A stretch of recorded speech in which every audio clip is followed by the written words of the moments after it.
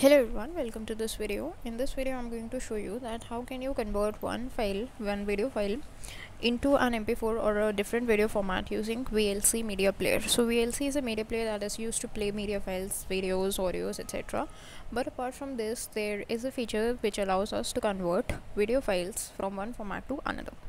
So we are going to see that in this video. So for this you need to open up your vlc media player go to media uh, go to this option that is convert slash save or you can use the shortcut control R alternatively.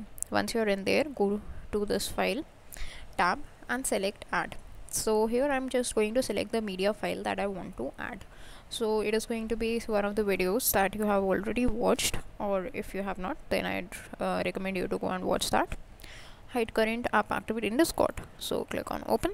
Once you have selected your file click on this convert slash save option now uh, here you will get source and uh, now what you need to do is select your profile. That means the format in which you want to convert your uh, video. So i want to convert to an mp4 format but if you see in this drop down there are different formats.